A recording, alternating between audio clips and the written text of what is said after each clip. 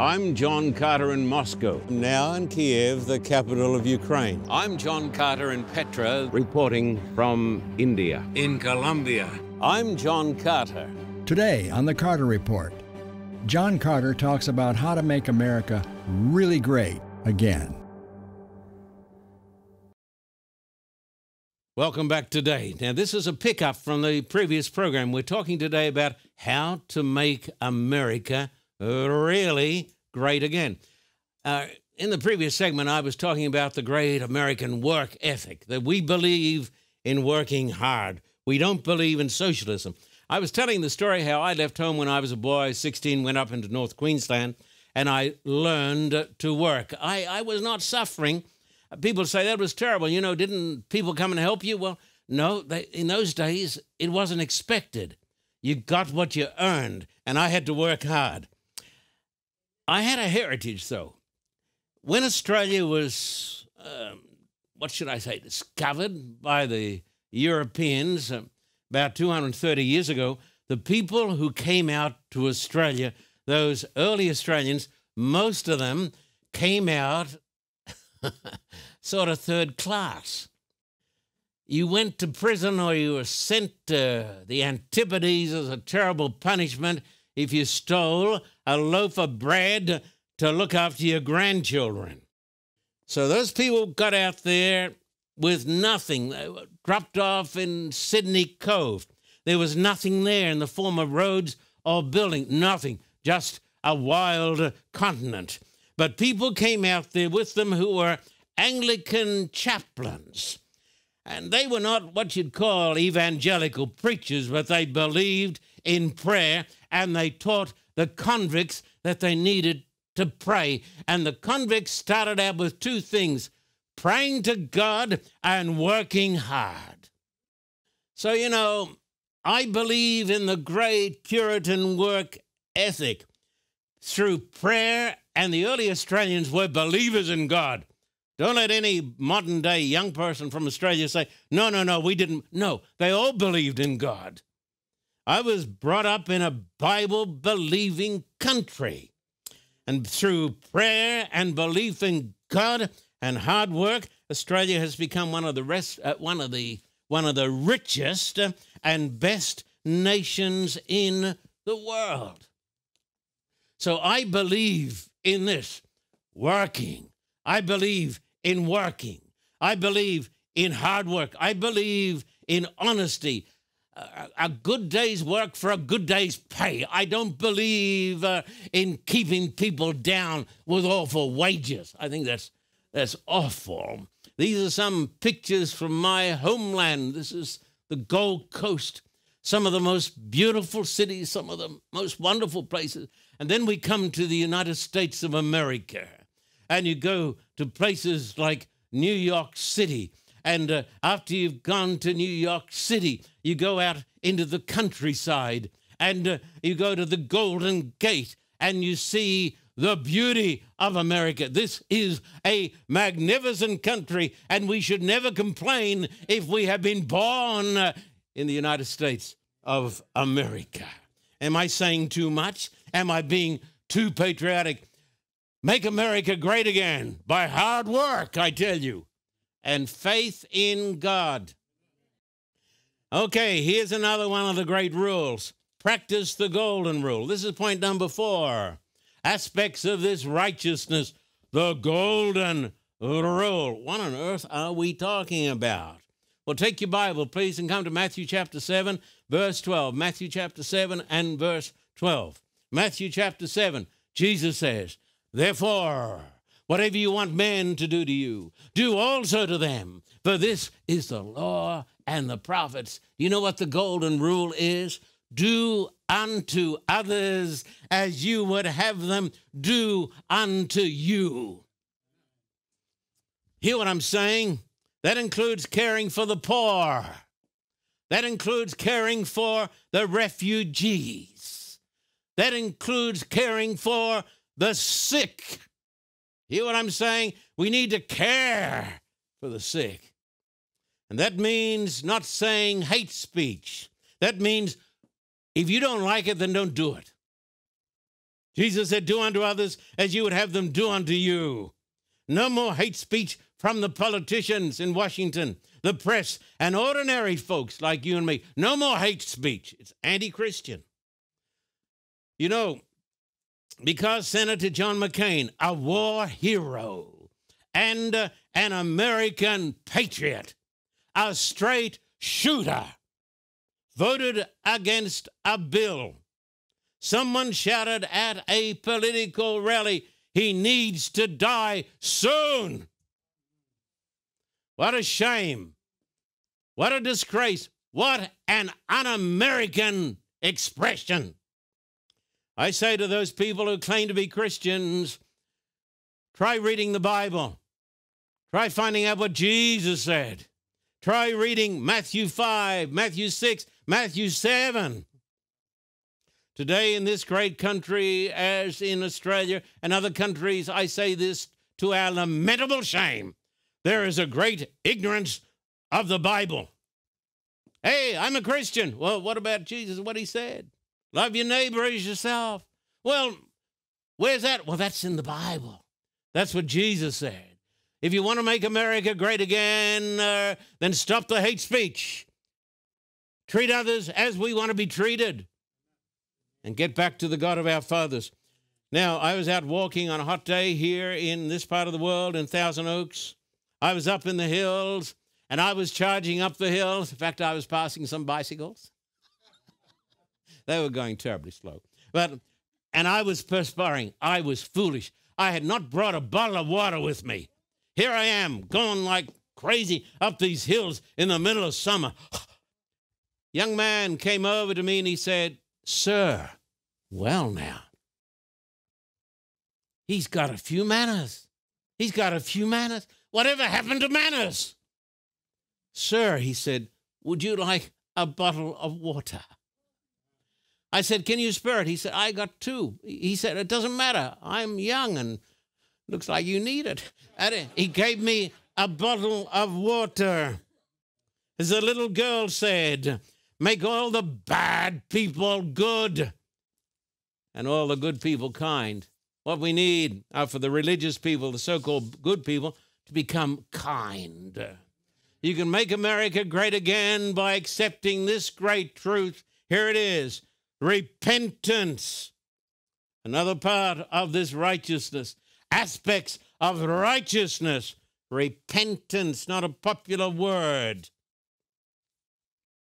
I want you to take your Bible, please, now in the studio. Second Chronicles 7.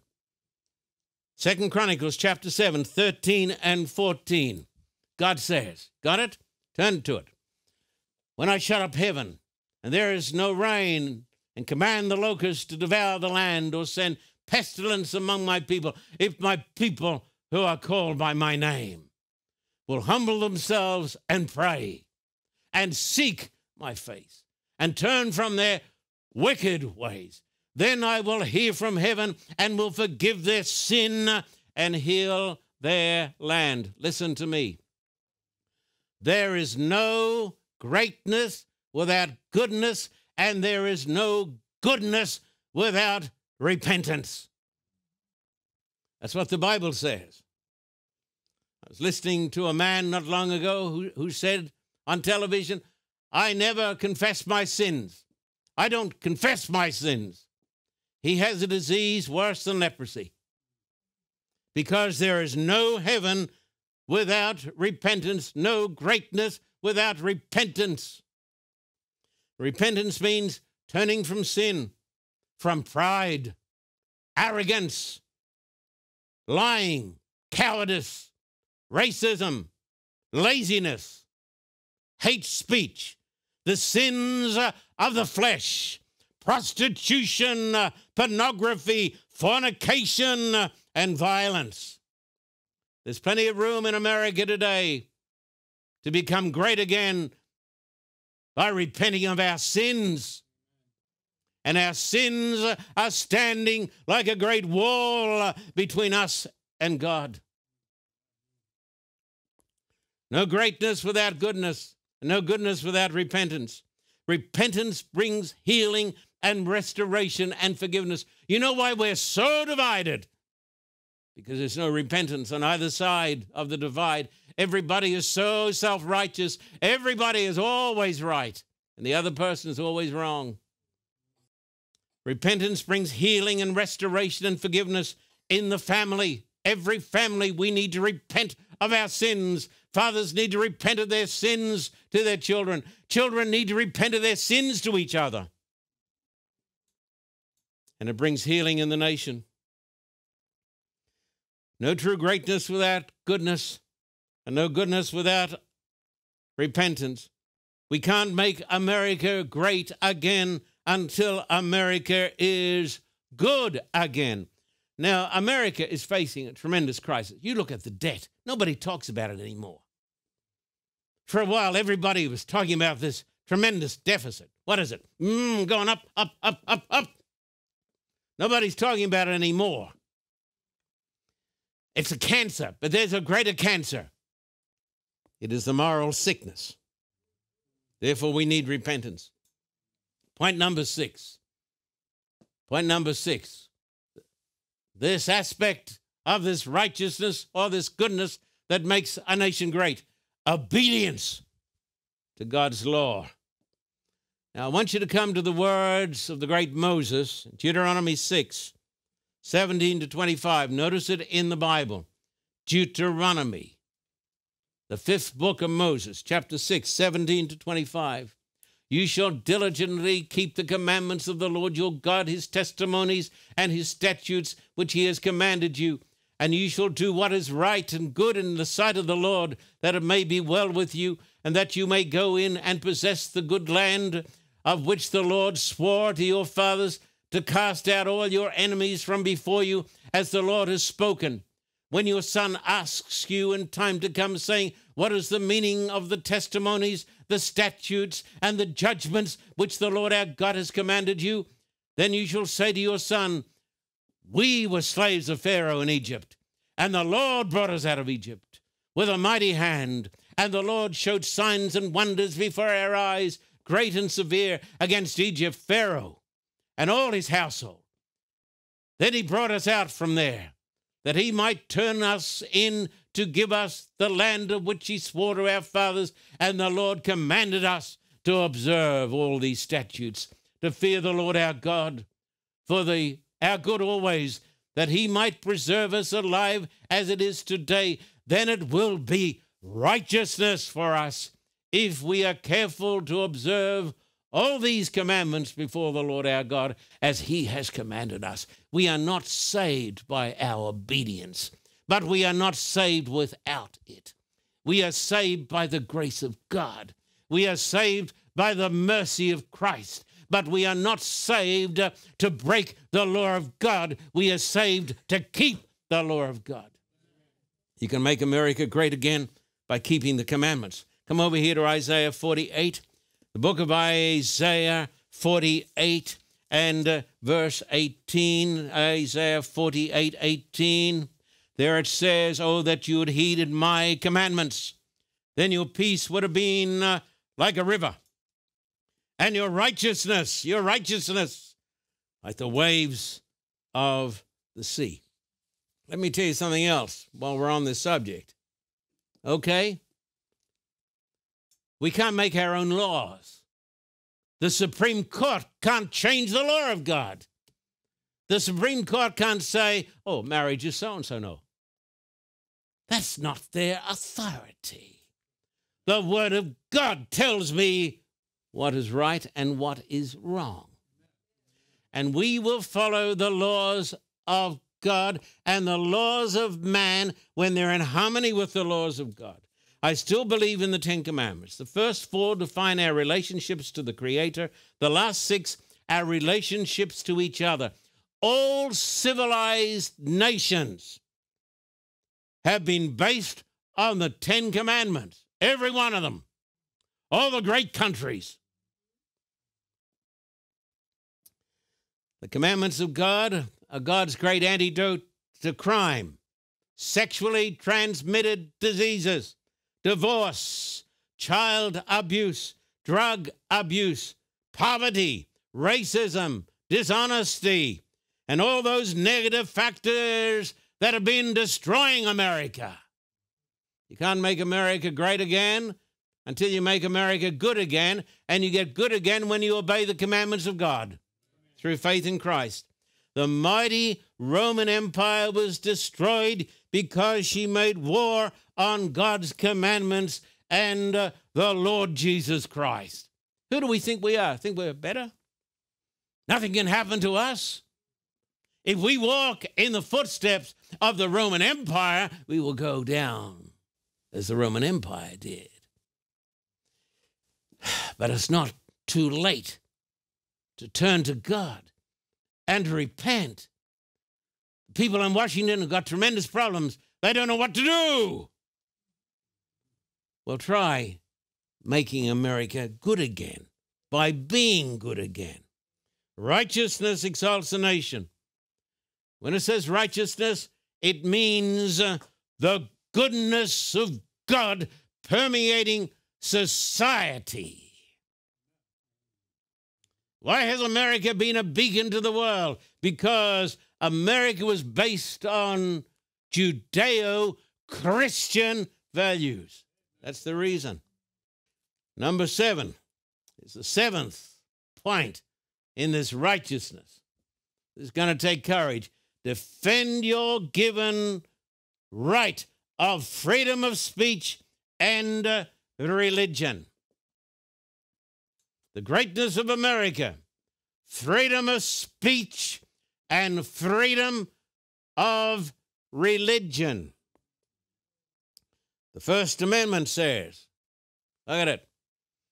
First Amendment Congress shall make no law respecting an establishment of religion. The state ought to stay out of religion or prohibiting the free exercise thereof. Don't tell me how to worship God.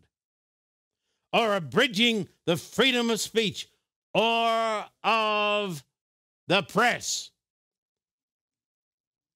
or the right of the people peaceably to assemble and to petition the government for a redress of grievances. It is right for the American people peaceably or peacefully to march and to demonstrate. You say, no, no, you can't. Yes, you can. You're not living in Russia or China. This is America. You see. The First Amendment says freedom of speech and freedom of religion. I want you to notice the Jefferson letter of 1802. The Jefferson letter. You can read it. He said, I contemplate with sovereign reverence that act of the whole American people which declared that their legislature should make no law respecting an establishment of religion or prohibiting the free exercise thereof, thus building a wall of separation between church and state. Now, today I'm hearing a lot of talk about saying that we should get rid of this wall that separates church and state, and we should declare that we are a Christian nation. That would take us back to persecution and the Dark Ages. We believe, I believe with Jefferson, in spite of what some are saying today, I believe with Jefferson, thus building a wall of separation between church and state. And you know why ministers get tied up in politics? It's because they're failing to preach the gospel of Christ. Their churches are empty, they're dying, and therefore they want political power. I say to the ministry, do your duty, preach the word of God, and stop playing politics. When I was a boy studying at Avondale College. I was taught these words by one of my old professors, Pastor Heffron. Now, I may have got it a little wrong because it's gone back a year or two. He said, I may disagree with everything you say, but I will defend to my last breath. You're right to say it. Of course, the politically correct people don't believe that. They believe you can only say something that doesn't offend them. and we're breeding a race of namby-pambies. Oh, I've been offended. Hey, grow up, get out in the real world, would you? You're going to get offended in the real world. If you come to work for me, you'll get offended straight away. oh, I can't do this. No, I'll be offended. We got to have places in Berkeley where nobody can ever be offended. So nobody. What a lot of junk, you know. I may disagree with everything you say, but I will defend to my last breath You're right to say it. This means this the Roman Catholic Church, the Mormons, the Protestants, the Muslims, the Jews, the Hindus, the atheists, the Adventists have the right to freely express their ideas and their beliefs. People have the right to be wrong. Oh, people have said to me, no, no, you got it right. You've only got the right to be right. What are you going to do? Set up the Inquisition again? That's what they believed. You got the right to be right. Every person has got the right to be wrong because your wrong may be my right, and my right may be your wrong. You see? Freedom of expression. This right is recognized in America, Australia, Great Britain, and other free countries. Many American universities restrict freedom of speech. Berkeley, in California, they have the rule of political correctness which makes cowards of all men. That's what they happen in that's what they did in Russia and China. Only allowed to say the party line. You don't say the party line, well, you're going to go to Siberia. Political correctness is un American. Therefore, if you want to make America great again, you've got to make America good again. How? There's a need to return to the Bible the Declaration of Independence, the Constitution, and the Bill of Rights.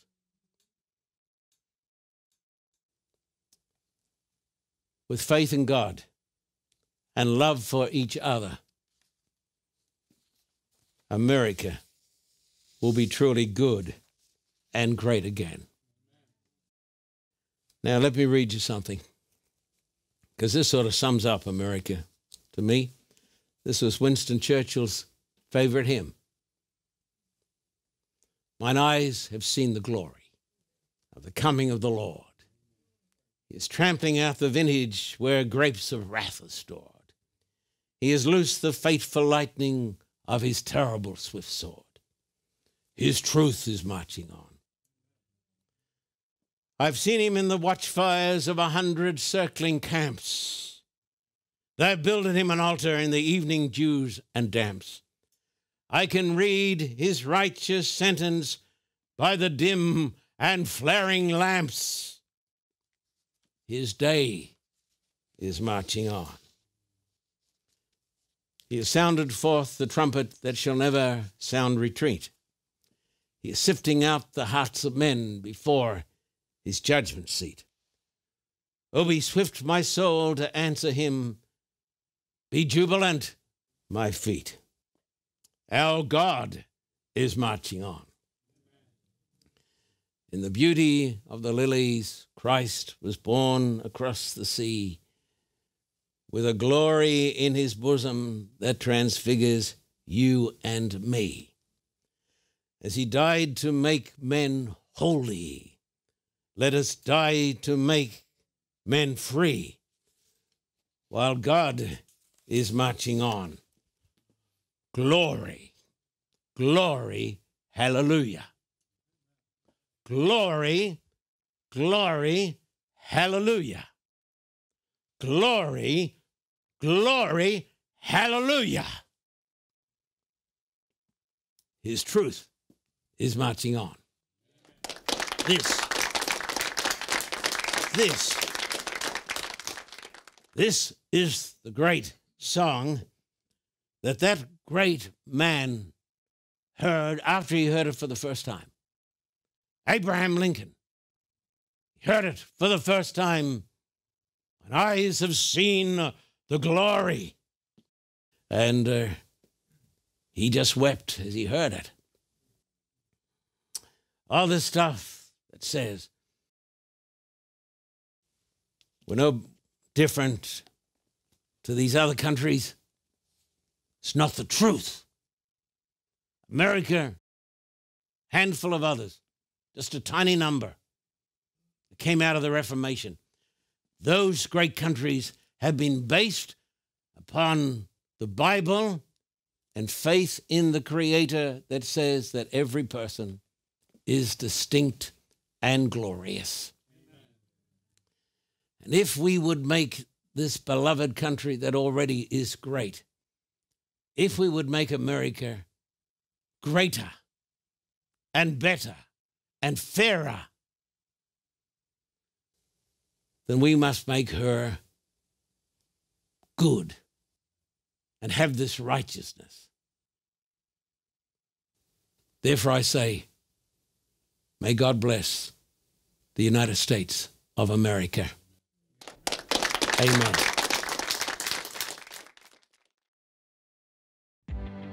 The Word began in a village. Churches and schools sprang up and multiplied, reaching into the city. Great truths revealed to the people of Papua New Guinea, changing thousands of lives. Our eyes are going to be opened to the discovery of amazing truths. The greatest truth in the Bible, it is the truth that God loves you. It has completely changed my life, and I'm going to be baptized this Sabbath. Pastor Carter has put something in my heart that I will never forget. Thank you, Pastor Carter, for your program. It has changed my life completely. John Carter's Great Truths Revealed was recorded live from Papua New Guinea. Experience the miracles in this 21 DVD series for a gift of $150 US or $210 Australian. To order, visit our website or call.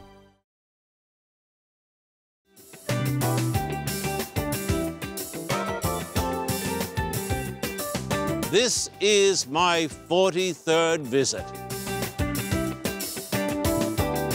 to preach the everlasting gospel of our Lord Jesus Christ.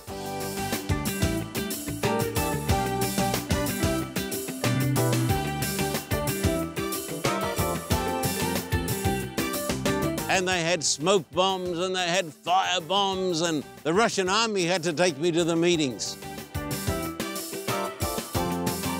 I come here, my friend, because of the need. These were days of grace and glory and mighty power. For a donation of $100 or more, a signed copy of the John Carter biography can be yours by writing to us at the address on the screen or visit our website.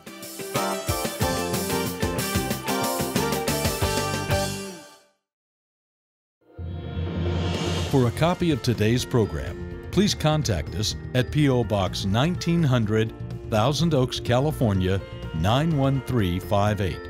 Or in Australia, contact us at P.O. Box 861, Terrigal, New South Wales 2260. This program is made possible through the generous support of viewers like you. We thank you for your continued support. May God richly bless you.